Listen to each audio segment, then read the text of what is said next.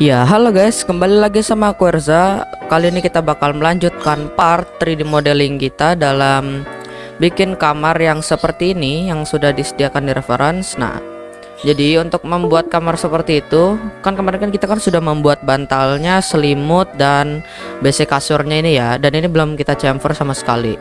Dan aku cuma mau ngasih tahu aja kalau kalian agak kurang puas bentuk bantalnya, kalian bisa membuat bantal lain karena aku sudah menyiapkan preset bantal yang lebih realistis daripada bantal ini. Tapi itu tergantung selera ya. Kalian mau pakai bantal yang ini atau pakai bantal yang sudah aku sediakan filenya di sini. Jadi bantal yang aku sudah sediakan di sini bantal yang menurutku lebih realistis ya. Nah kalau kalian memilih untuk bantal ini ya bisa aja. Jadi cara membikinnya ya untuk bantal yang lebih realistis ya. Jadi cara membuat bantal realistisnya ini kalian memerlukan box gak usah di chamfer uh, box biasa aja lengthnya 45 widthnya 60 ya. Terus length size-nya length segmennya 40 sama 50 ya width segmennya juga 50 nah di sini kalian bisa ikutin settinganku. Lalu di sini kalian bisa menggunakan cloud modifier. Nah jadi cloud modifier ini berbeda ya dengan yang kemarin karena yang ini kan chamfer ya. Kita mengikuti apa namanya referensi. Jadi tanpa preset cotton Nah, tapi ini kan nggak terlalu realistis ya, bisa dibilang. Jadi jika kalian mau yang lebih realistis, kalian bisa lihat tutorialku ini. Jadi kalian ke cloud, lalu kalian kalian tambahin modifier cloud dulu, lalu kalian tambahin object properties. Jadi box ini kalian bikin cloud preset ya, kalian pakai cotton. Oke. Okay? Dan pressure-nya di sini yang akan membuat dia semakin realistis. Pressure ya kita berikan 30 ya. 30 pressure dan setelah diberikan 30 pressure kalian bisa klik saja oke okay, lalu simulate lokal dan dia akan menjadi bantal yang jauh jauh jauh jauh lebih realistis dari bantal yang kita buat sebelumnya. Kalian bisa lihat ini lebih menjadi sebuah bantal ya. Dan kalau bantal di dalam dunia nyata itu kan pasti kan ada lakukannya di sini ya untuk kainnya. Jadi kalian bisa collapse dulu clothnya oke. Lalu editable mesh nya kalian convert ke editable poly. Lalu kalian bisa menggunakan edge dan shift untuk memilih semua bagian edge lalu kalian bisa menggunakan korek. Klik titik kecilnya kotak kecilnya. Dan kalian bikin dua dua garis gitu ya. Ya tergantung ya kalian maunya semana. Kalau aku segini segini aja klik centang. Lalu kalian balik ke polygon. Select ini dengan shift lalu pilih ke kirinya. Lalu kalian bisa extrude. Nah jika terjadi error seperti ini grupnya kalian ganti ke local normal oke? Okay? ini kalian tinggal set oke okay deh jadi bantal realistis kita dan boom. Ini adalah bantal realistis kita. Yang kalian bisa memilih sih mau membuat bantal realistis sepertiku ya seperti yang aku contohkan atau sesuai reference. Kalau aku sendiri lebih memilih, lebih memilih bantal realistis ya. Jadi untuk bantal yang ini kita akan buang dulu. Kita akan delete dulu kasar ya. Dan kita buang dulu deng. Itu buat posisinya. Jadi kita memerlukan box ya. Untuk panjang dan lebar kalian bisa ikuti preset yang nanti aku kasih di deskripsi jadi kalian bikin aja ngasal dulu. Lalu kalian bisa ikutin preset yang aku kasih di deskripsi ya nanti linknya. 4561 oke. 45 60 lalu di sininya satu. Oke. Nah jika terjadi seperti ini atau ketidakcocokan seperti ini jangan seperti ini ya tuh. Kalian bisa rotate aja 90 derajat dan jangan lupa nyalakan angle snap toggle bakalan rotate 90 derajat.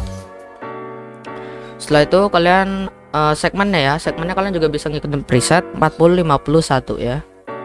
40 lalu 50 40 50 ya. Salah guys. 40 50 lalu 1 setelah jadi seperti ini tambahkan step yang kita tadi yang aku tadi ajarkan ya dengan cloud modifier objek kita nggak perlu collision di sini karena dengan collision itu akan membuat bantalnya agak jelek ya. Jadi mending kita nggak perlu collision. Cotton dan pressure-nya jangan lupa 30 kalian bisa klik OK lalu simulate lokal. Tinggal, tinggal tunggu aja dia jadi sebuah bantal. Oke okay. kalau udah jadi sebuah bantal yang agak realistis seperti ini kan udah lumayan realistis ya. Ini kita bisa convert uh, collapse tuh dan bikin dia jadi editable poly. Misalnya langsung extrude aja balik lokal normal lalu su ya pas sampai dia masuk lah ya. Dan udah jadi bantal kalian yang cukup realistis ini dan kalian bisa jika pivotnya terlalu jauh kalian bisa menggunakan efek pivot only. Center to object, to object lalu matikan lagi. Dan ini kan kelihatan ya ini gede banget. Jadi kalian bisa scale untuk mengecilkannya.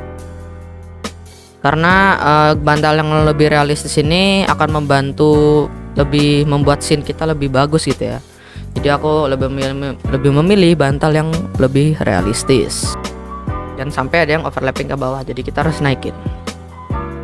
Oke. Okay. dan jika sudah seperti ini kalian bisa ketengahin lagi dengan top view. Dengan memencet angka T. F3 lalu sejajarkan dan balik ke perspektif. Dan dia seharusnya sudah berada di tengah-tengah posisi dan jika menurut kalian ini belum terlalu tengah kalian bisa tengahkan sendiri. Ya. seperti ini. Kita juga bisa modif-modif panjangnya.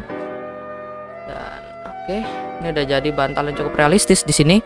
Dan bantal yang ini bisa aja kalian buang dengan menekan delete oke. Okay? dan kita akan membuat uh, senderan kasurnya ya di sini ya dan juga kaki-kakinya di sini. Akan membuat senderan kasur dan kaki-kakinya untuk membuat sandaran kasur kita bisa menggunakan box. Kita auto grade aja. Ya ukurlah dari seginian lah ya. Oke. Ini kalian bisa tinggikan ke atas. Ya sekitar segini. Lalu kalian isolate selection dengan cara klik kanan. Lalu isolate selection. Nah kalau udah terisolate seperti ini kalian bisa modelingnya ya jadi kita turunkan aja segmennya nggak 5 nggak 40 juga. Jadi 15 15 jadi kita bikin 15 saja dan jangan terlalu tebal. Cukup seginian lah ya. Ini bikin agak panjang dikit. Dan kalau menurut kalian sininya terlalu ini apa terlalu gede gitu ya kalian bisa turunkan segmennya. Tapi kalau menurutku ini sudah cukup banget dan sekarang kita bisa convert dia ke editable poly. Nah kita bisa lihat dari modelnya ya. Jadi yang sebelah sini tuh dia lebih ke bawah daripada yang sebelah kanan dan kiri pojok ini. Jadi pertama kita akan menggunakan uh, polygon. Kita akan select boom lalu shift dan pilih semuanya. Oke okay guys, setelah kita memilih semuanya seperti ini, kita bisa menggunakan extrude bukan untuk seperti itu melainkan bukan seperti ini juga. Jadi kita bakal menurunkan dia ke bawah oke? Okay? oke ini hampir jadi ya. Jadi cara ini masih agak ngembak-ngembak dikit kita bisa naikin pelan-pelan sampai dia berbentuk.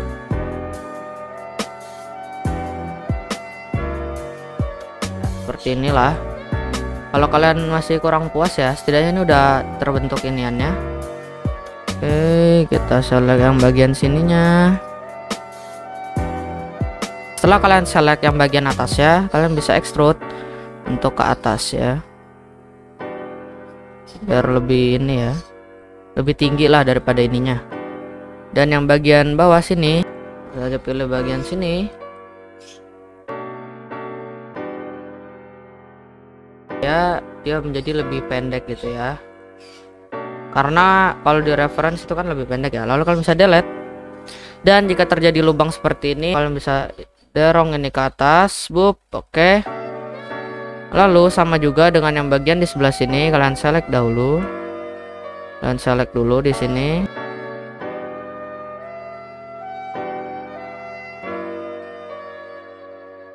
Kalian pencet lagi F3 nya lalu kalian shift dan naikkan border kalian Oke. Tapi segini kayaknya udah cukup.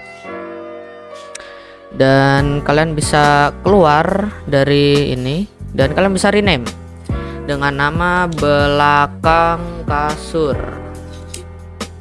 Kasur, oke. Dan setelah kalian rename, kita bisa dorong dia ke belakang kasur kita. Dan kita akan menggrup kasur ya biar lebih rapi jadi cak grup itu apa bang? Jadi grup itu adalah sebuah fitur yang disediakan oleh 3ds Max untuk menggabungkan beberapa objek menjadi satu objek dengan grup ya. Jadi kalian harus select dulu objek yang mau di grup. Aku udah select nih objek yang di kasur, lalu kalian pilih grup. dan kalian pencet grup lagi dan kalian bisa kasih nama aku kasih nama aja kasur total kasur total kalian pencet oke OK. nah jadi lebih mudah untuk menggerak-gerakannya untuk compositionnya nanti ya. Jadi kita bisa pilih bagian yang ini kalian bisa gerakan. Lalu kasurnya kalian mundurkan seperti ini.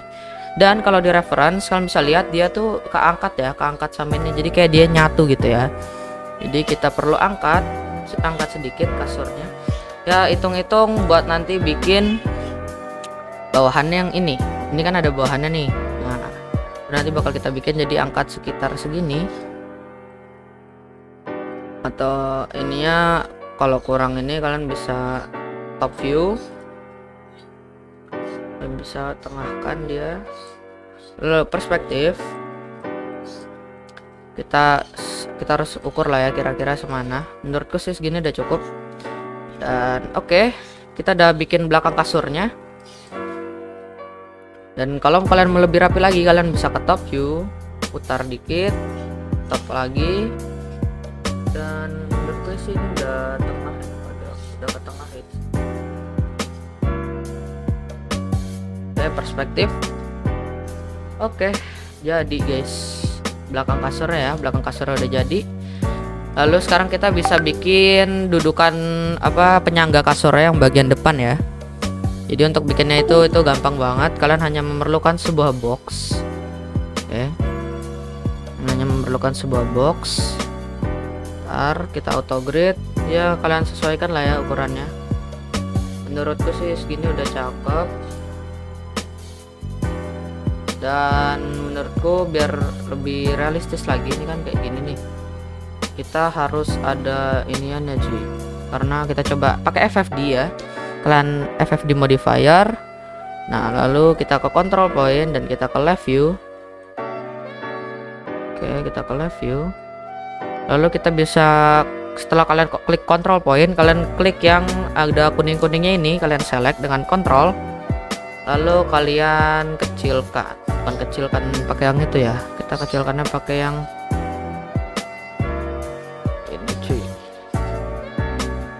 kalian bisa klik bawah-bawahnya control point. Oke yang bawah-bawah.